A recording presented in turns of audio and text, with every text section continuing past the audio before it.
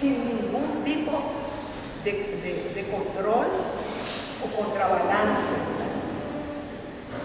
Y, ese poder tan concentrado eh, fue siendo fortalecido por actos represivos contra las luchas de los movimientos populares.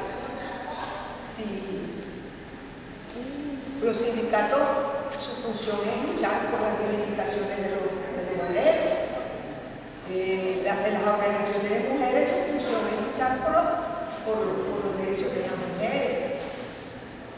Entonces, pasó a tratar de controlar todo. Yo creo que el único sector en donde no logró penetrar así como él quería es, las organizaciones feministas.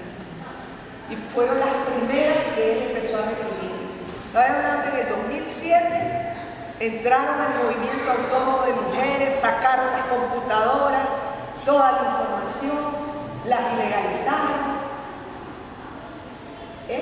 El primer año de él, pero él logró hacer un pacto con el gran capital, con las grandes empresas, y las grandes empresas eh, eh, empezaron a mirar para otro lado, aceptaron todo eso, a cambio de que él les dio enorme ventaja desde el punto de vista del impuesto, desde el punto de vista fiscal, de sus negocios.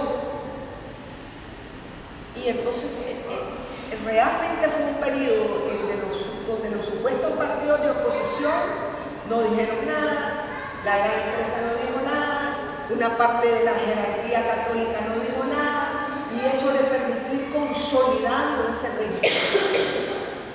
En el Frente Sandinista, desde 1979, solo ha habido un secretario general. Solo uno. Y desde 1979 solo el Frente Sandinista solo ha tenido un candidato a la presidencia, Daniel Ortega. En el 84, en el 90, en el 2006, en el 2001, en el 2006, en el 2011, en el 2017, en el 2021. Solo Daniel Ortega ha sido candidato. Eso es una cosa anormal, insana,